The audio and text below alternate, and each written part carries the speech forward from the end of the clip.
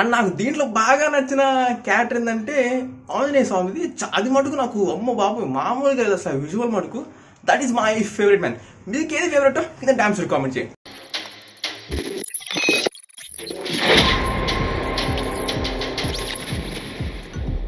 Well రౌండీస్ మనకి finally Brahmastra Telugu ట్రూవాల్ రిలీజ్ అయిపోయింది. Without for due let's jumping to it man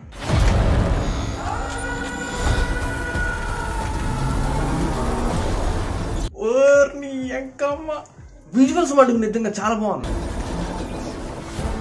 అమ్మ బాబోయ్. నీరు గాలి నిప్పు కొన్ని వేల సంవత్సరాలుగా ఈ శక్తులన్నీ ఓరే నాయనా. కొన్ని అస్త్రాలు మామూలుగా లేవు అసలు. అమ్మ జీవితం. లిటరల్లీ నేను ఇన్ని రోజుల దాకా అంటే మా సూపర్ హీరో ఫిల్మ్ అంటే నేను ఆ పాయింట్లో అనుకున్నా కానీ వీళ్ళకుంటే అనుకున్న పవర్స్ కానీ వీళ్ళ ఒక రూపం అంటే వీళ్ళకి ఏ పవర్ ఉందో అది ఒక ఇట్లా ఒక ఇమాజినేషన్గా పెద్దగా అవడం అనేది నిజంగా ఇది మటుకు చాలా కొత్తగా అనిపిస్తుంది నాకు. That was an very interesting move మామూలుగా లేదు. ఈ కథ ఈ అస్త్రాలన్నింటికీ అధిపతైన బ్రహ్మాస్త్రానిది ఆ బ్రహ్మాస్త్రం యొక్క విధి తన అరచేతి రేఖలలో చిక్కుకొని ఉందన్న విషయం ఆ యువకుడికే తెలియదు. అతనే Shiva.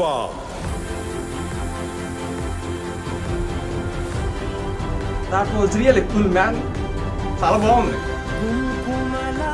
హాయ్ నువ్వెవరు? అసలేంటి నువ్వు?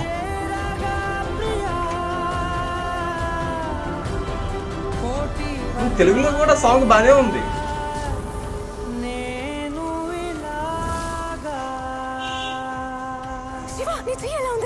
ఇషా నాకు నాకేమీ కాదు. అగ్నితో నాకు బంధం ఉంది. అగ్ని నన్ను దహించలేదు. ఓకే ఇతనికి ఫైవ్ పవర్ అనమాట ఓకే రైట్ ఓకే. ఈ ప్రపంచంలో ఏదో జరుగుతుంది ఇషా. కొన్ని పురాతన శక్తులు ఉన్నాయి అలాగే వాటిని రక్షించే వాళ్ళు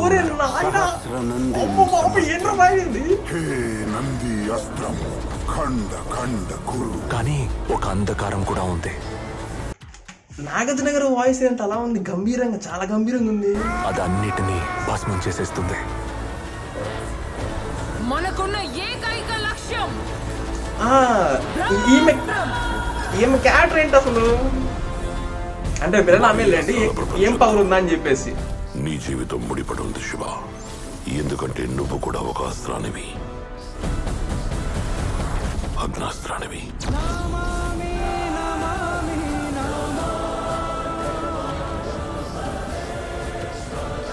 ఓరే బాబాయ్ విజువల్స్ మటుకు మామూలుగా లేవు.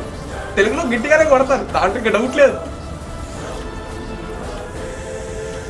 ఓకే స్నేక్ ఓకే మౌనికి స్నేక్ పర్ఫెక్ట్ అబ్బా స్నేక్ పర్ఫెక్ట్ నిజంగానే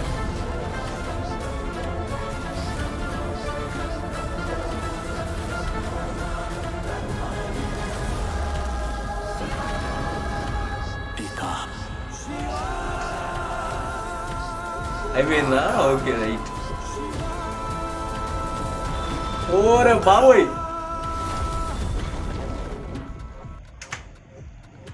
అమ్మ బాపు అసలు ఆ విజువల్ థియేటర్ నాయన ఎస్పెషలీ ఫర్ దాట్ ఐడియా వాళ్ళకి ఏ పవర్ ఉందో అది ఒక రూపంలోకి రావడం అనేది that was really brilliant idea మామూలుగా లేదు అది మటుకు క్రేజీగా ఉంది నిజంగానే.